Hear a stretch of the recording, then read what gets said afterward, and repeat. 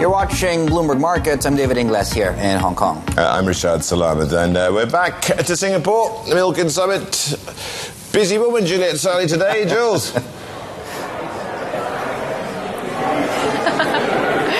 Yes, we've done a quick switch out, Rish and Dave. I'm here now with the CEO of the Malaysian infrastructure conglomerate YTL, Francis Yeoh. YTL comprises of five listed entities and uh, they run assets about $16.3 billion.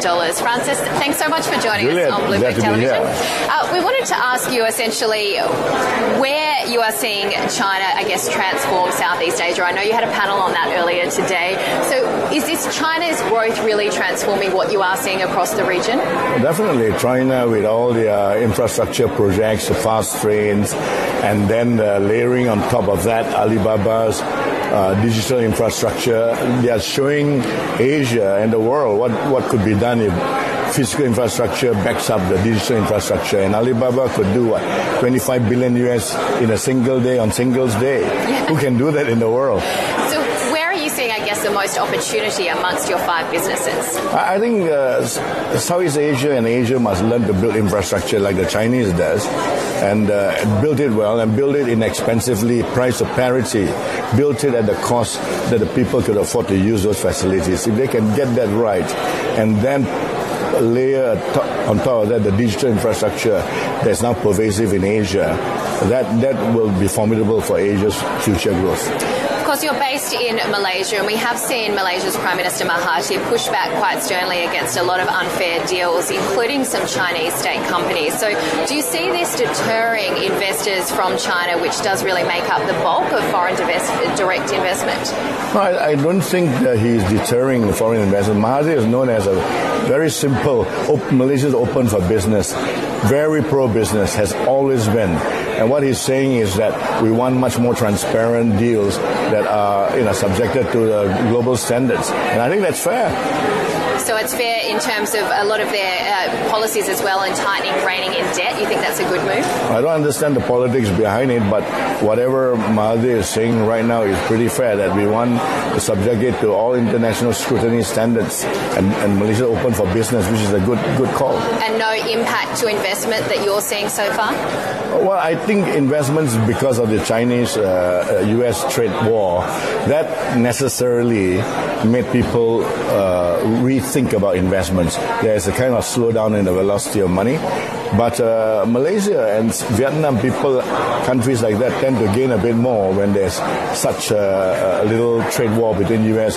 and China. You can see China in Guangdong is already introducing a lot of incentives to make people not go away from China as a result of the trade war. So because people will flow to Malaysia and Vietnam and to hedge themselves, yeah. Speaking of flowing, we did have, of course, the uh, deferral of the signing between the high-speed rail network of between Kuala Lumpur and Singapore.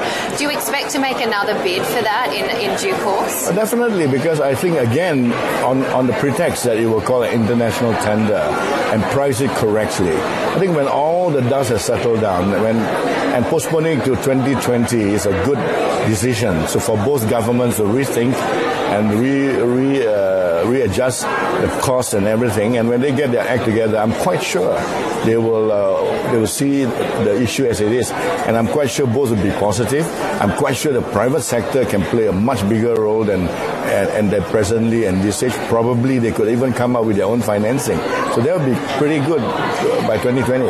By 2020, I was going to say, do you have a time frame? Yeah, 2020. Okay. yeah, they'll make a decision on that. Yes. Um, we've heard that you're bidding for a stake in the Swiss multinational Lafarge Holcim, their Indonesian unit, around $2 billion. Can you confirm that? I cannot confirm. Could- I cannot deny, neither do I confirm. no comment. No comment, okay. uh, we want to also ask you, I guess, where you are seeing other uh, investment opportunities or perhaps M&A opportunities amongst the region. Uh, yeah, because of this trade war, there's now a little bit uh, reluctance of many big players to reinvest in the Asian or emerging nations uh, territory or even in Europe. So this this gives us uh, opportunities. We've got about 12 billion US worth of uh, M&A capabilities right now. So yeah, I'm beginning to see better opportunities presented. And in fact, in the last uh, couple of months, I've closed one or two, and I've got quite a lot on the table, which I've not seen before, which is good. There's a lot of thought leaders here at the Milken Summit. What are you mainly focusing on when you sort of talk behind closed doors? Well, actually, I always advocate the TCRF, transparent, coherent. Uh, uh, regulatory, regulatory framework for infrastructure and all important utility projects to be bid by the world and financed by the world rather than being restricted to their own whatever uh, skewed towards their own political alignment.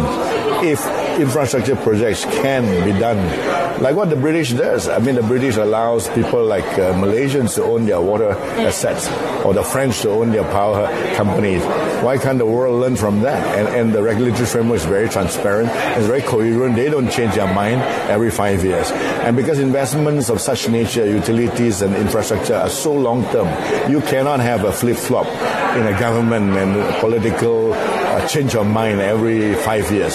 So that's why it is this well understood by the leaders of today, and I think they will understand that they have to build this physical infrastructure so that the digital infrastructure can take advantage of it. And then the world will be a better place, certainly you mentioned, well, we mentioned that you um, manage assets about $16.3 billion. Do you have a forecast to get to a next level by, say, 2020, 2025? No, we like to grow. We always we want to grow steadily, but we are very long-term players. We look for a long-term infrastructure project by nature, long-term. Even the hotel projects, if you buy a hotel, it's very long-term.